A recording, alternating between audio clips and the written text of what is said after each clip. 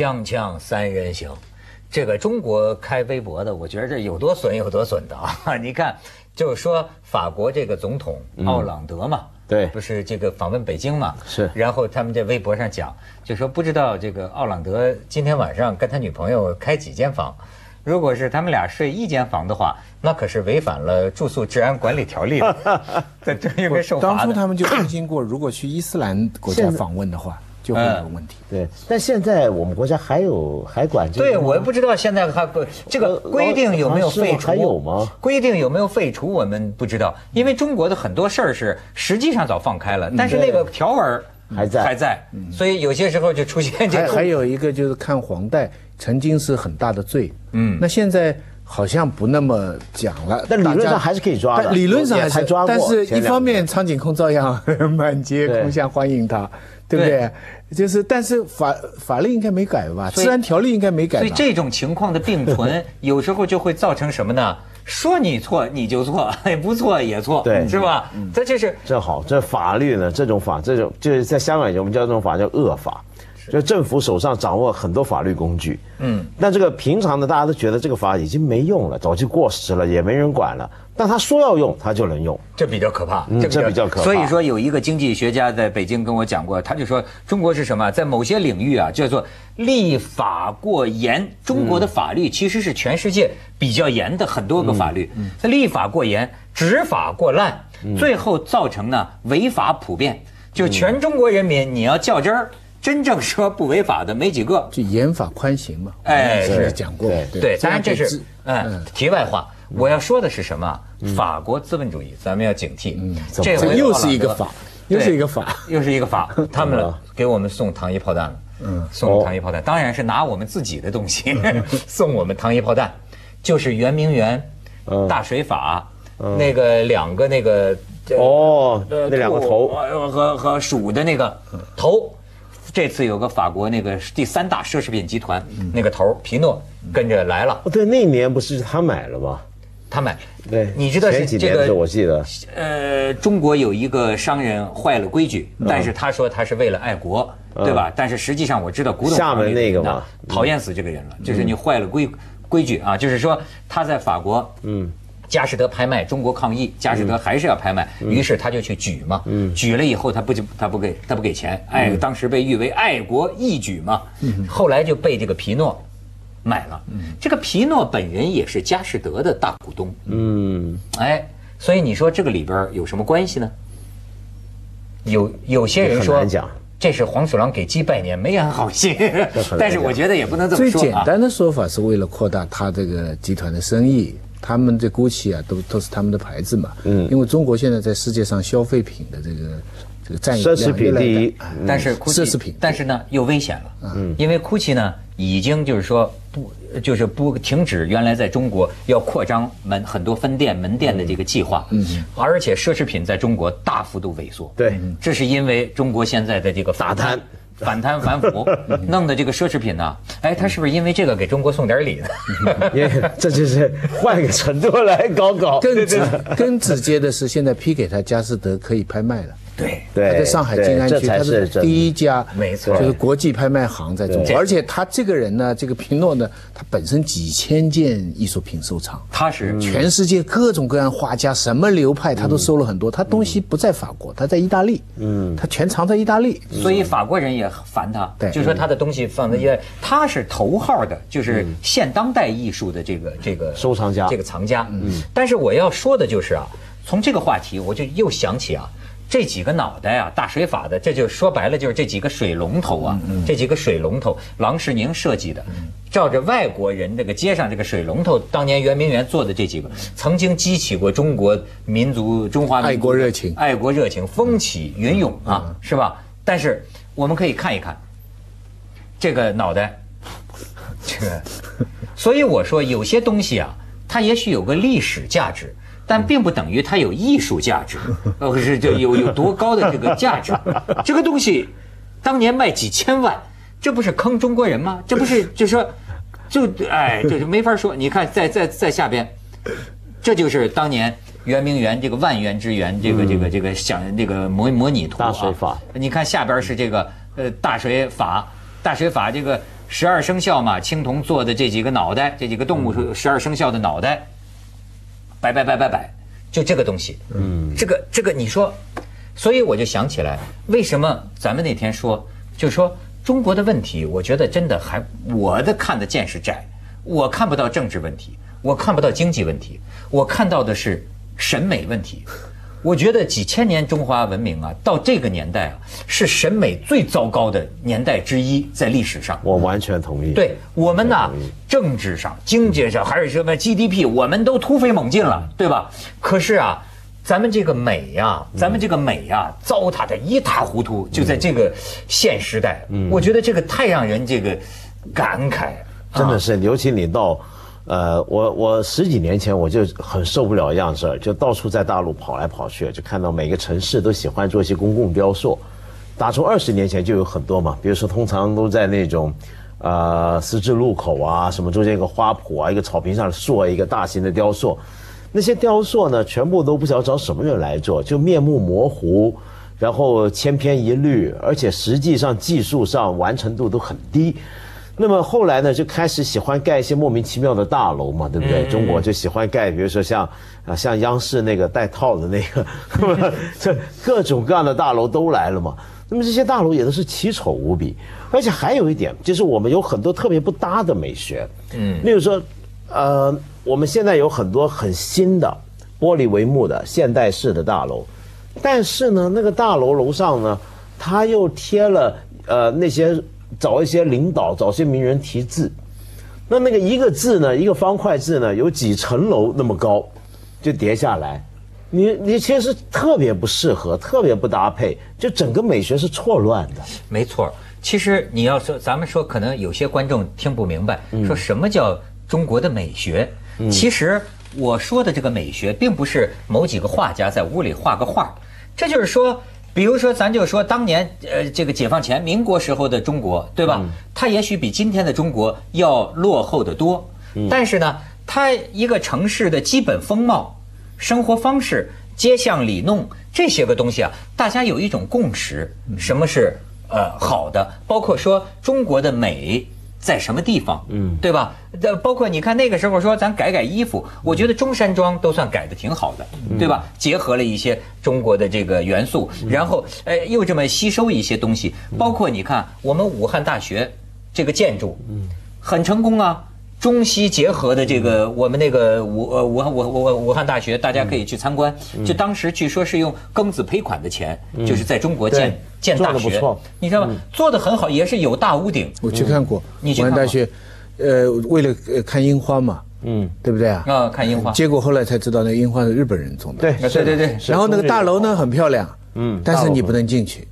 你一进去里边，这厕所之脏，走道之乱，就这个大学就是剩下一个壳儿，就壳嘛，壳嘛。我跟壳是以前人弄的，对，壳里边的东西都没有了。你知道我最近去这个苏州啊，我就看这个苏州园林，哎，我就有一个感触，就是。我们这么多年是吧？我们成功的把壳里边的东西全掏空了。嗯，屋子里边一无可观，都是一些现代仿制的这些家具。当然，它也是尽量按原貌。但是你不进就会有疑问呢。当年这样的园林，屋子里边更加可观呢。嗯，那都是古董啊，钟鸣鼎彝啊，这个这都是这个好的明明代明清的这个家具。那些家具都去哪儿了？那个屋子里面，厨师就呃那个什么类似新呗，对不对？那个对呀，不是给毁了，就是不定归了谁了，全掏空了。但是就是这个壳，咱就是说这个壳，我想。也可以，咱们看看照片，就咱们就说中国的美学。其实圆明园为什么就说圆明园的这几个脑袋艺术价值并不高啊？因为它是欧洲的这个东西，而且是在晚清，对吧？比较粗略的，很粗糙，在在它在外边风吹日晒雨淋喷泉呢，就是今天这个喷泉成什么几千万的文物了，对吧？那为那么而且呢，它是一个外国文化的一个东西，那甚至于圆明园。照我说，那都是清朝的皇帝，对，他想集万元之源，想集中国外的呃那种，实际山寨国外的。要叫我说，弄了很多锦绣，就是世界之窗，锦绣中华那类。世界之窗的皇宫版，对，没错，宫廷版，呃，宫廷版，皇家版。所以说我们也可以看看，从苏州园林，你这照片可以看看，就是中国式的美学，还可以体会一下。我们可以看看这照片，哎，你看这个爬墙的啊，这个藤，你再看，你看。中国不是大水法呀，不是喷泉呐。中国式的园林是要妙造自然，它这个水是这样三叠流下来。清泉石上流。咱们的泉是女性的象征，喷泉是男性的狮子林，狮子林，你瞧中国这石头，这个叠石啊，这是中国式的美啊，意境啊。哎，你看这个是拙政园吧？再看下边，你看这好像是留园啊。你看中国的这个画，你看这不像国画吗？这掩映从窗户里看出去，就像一幅国画嘛。你再看下边，哎，中国的水墨画，你看中国许多古代画家都画过这种一个怪石，呃，一本芭蕉，对吧？哎，这就在园林的一个墙角，这中国的美啊！那中国的美，你看像是给你安个画框一样，哎，人的生活生活方式，这是一种是生活的艺术。你再看下边，啊，你看这个就是啊。呃，明代的一个生活艺术大家文振亨，他是在这个义浦啊，呃，他哥哥的这个园林，他他堆的石，据说这个石头就是他堆的。你看中国的叠石啊，中国的叠石，你看到那一对是照婚纱照的啊，新郎新娘的。再再给他看这个，哎，这是四大中国的四大名石啊，在留园里边的冠云峰，你看看。这这要是一个我，我觉得就是雕塑家罗丹到这地方，他也得下拜啊！谁能雕得出这种效果啊？这是大自然的这个雕塑。锵锵三人行，广告之后见。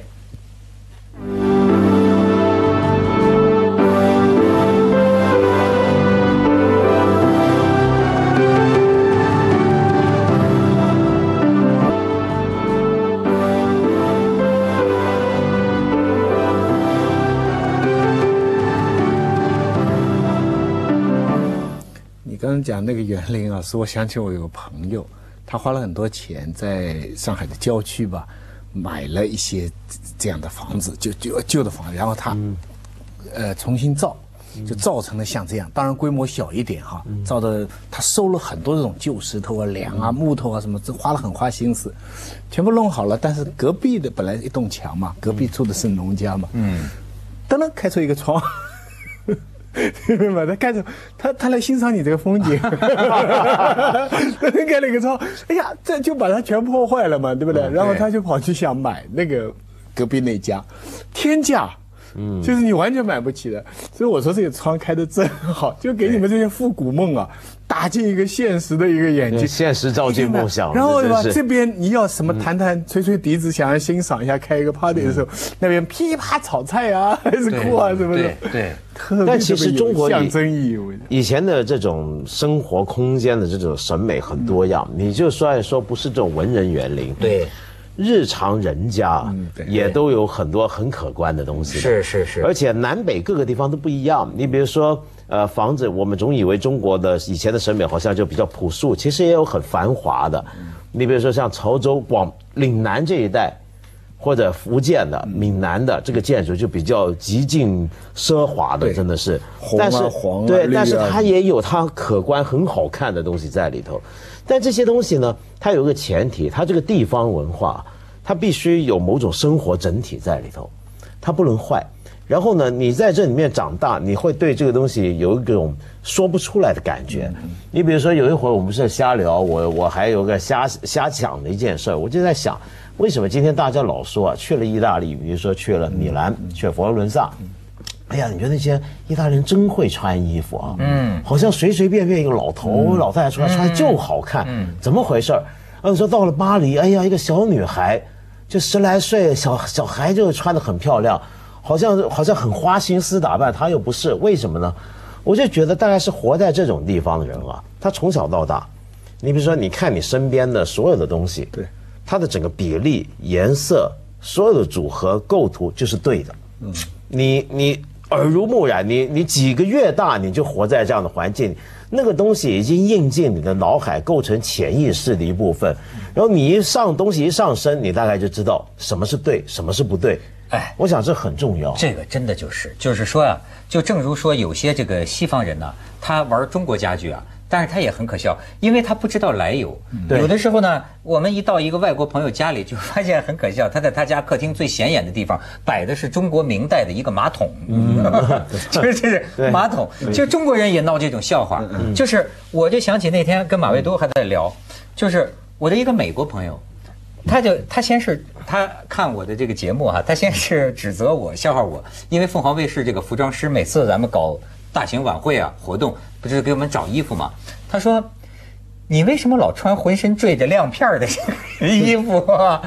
我说那不是就是很隆重，我说服装师找的。后来他说哦，原来不只是你。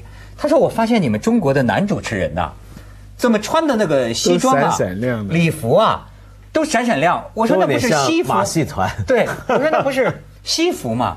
他说啊，这个礼服啊，在我们呃英美人、英国外国人，那就是我们的正式的一个制服礼服。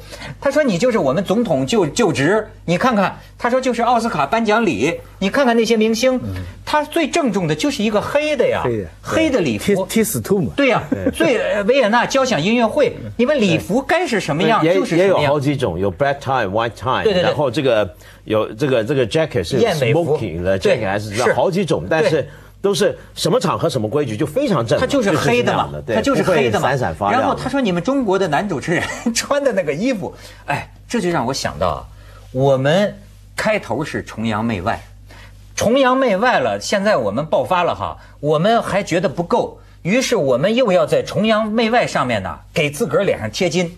就形成了我们现在这种着装风格。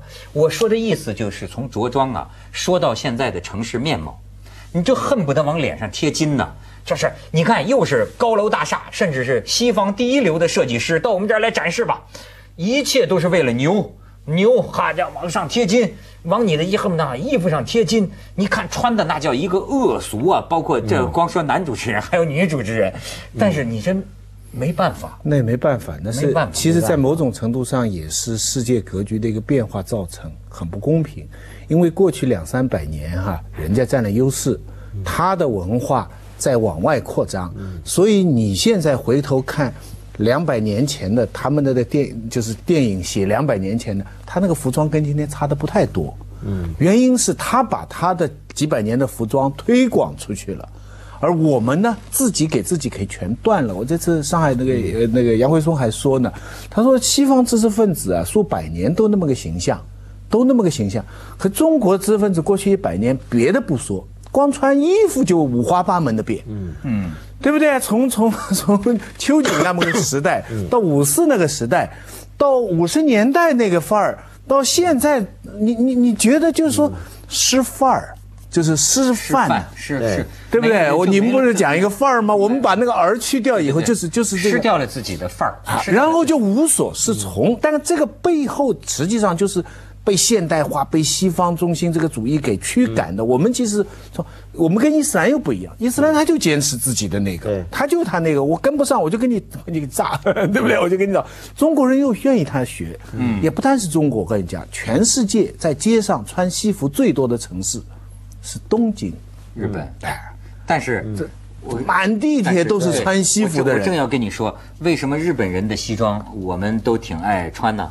因为这个我发现穿衣服啊，很重要的一个 一个标准是什么呢？合身儿。嗯，你看日本人穿的西装，它适合他的小矮个儿，都很合身儿啊，而且干净他们。自己做，我们是周身名牌是很好的。对中国这周身名牌，这大街上这个，你你瞅瞅，你穿的就你你你不是人家，你知道吗对？咱们去一下广告，嗯锵锵三人行广告之后见。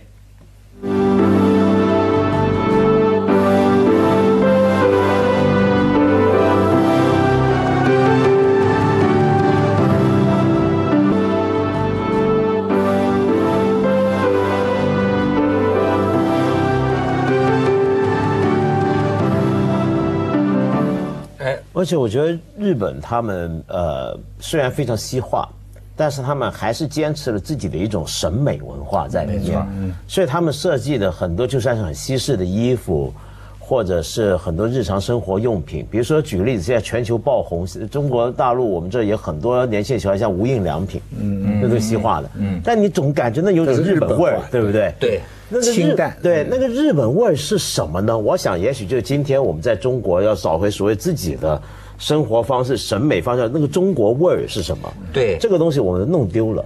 而且我觉得还有一点很重要，就过去中国的，其实中国向来啊，从古至今到今天为止，官员。都是很重要的，掌握了你文化面目的一个群体。今天中国，比如说我们到什么地方，你都知道，看到这个城市为什么搞这个样，是因为他一把手爱什么。对。然后这个城市为什么老盖那个？呢他一把手爱这个，对不对？老听地方上这么讲。有的电视台啊，你看那个女主持人长得几乎都一个样，你就知道台长喜欢这样。台长喜欢这样嘛？但是问题是呢，今天我们的官员呢，跟过去的中国官员有个非常不一样的地方。过去的中国官员考科举出来的，起码。懂得什么叫好字，一手好字，嗯，起码会写诗，能看文章，就那个基本的艺术素养。你你光当然说我们过去的考试很荒谬怎么样？但那个基本的艺术素养在官员群体里面是有保证。总之是西南联大的底子，对。在今天呢就不一定。那今天呢我们很多西北插队的，对我们今天的干部是。有这个掌握文化面目的权利，但没有相应的这种文化水平来支撑。我跟你说，我我认为啊，就是真正有文化水平的，或者说我们缺的，还不在于他真多么有修养。官员并不见得要求这个啊，但是呢，中华民族，我认为啊，失掉了谦虚，就是这个，你现在出去看啊，嗯，就这个说话呀，都是高声大嗓门。没谁觉得自个儿错了，谁都觉得自个儿是导师，你得听我的。哎呦，我现在见的无比自信的人多了。嗯，可是我觉得，越有文化的人是不是应该越谦卑才对？因为你知道天高地厚啊，你知道请教啊，你知道你知。接着下来为您播出《西安楼观文明启示录》。人只要有这个谦虚向上。